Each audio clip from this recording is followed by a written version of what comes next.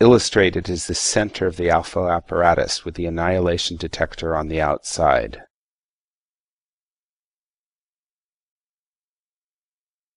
Peeling away like an onion, we next see the coil windings for creating the magnetic minimum.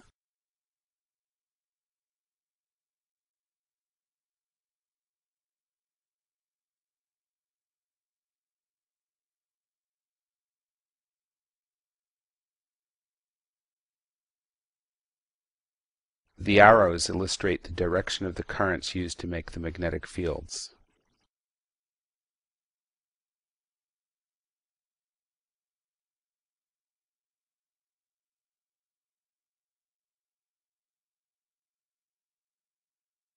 Going further inwards we find the electrodes.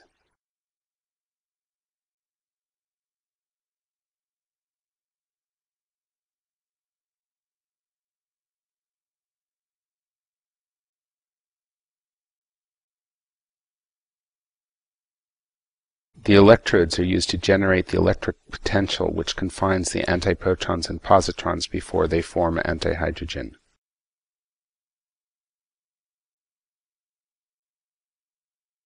We now bring the positrons and antiprotons into contact.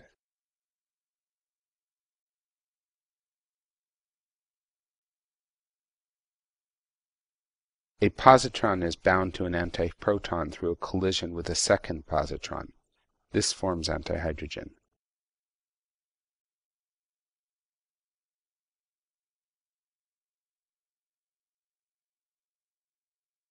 Here you see the magnetic minimum, shown as a bathtub.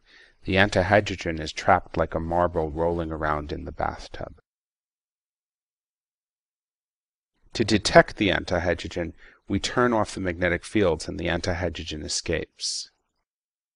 The antihydrogen then annihilates on the matter in the wall of the system. We track the annihilation products to determine where the antihydrogen annihilates.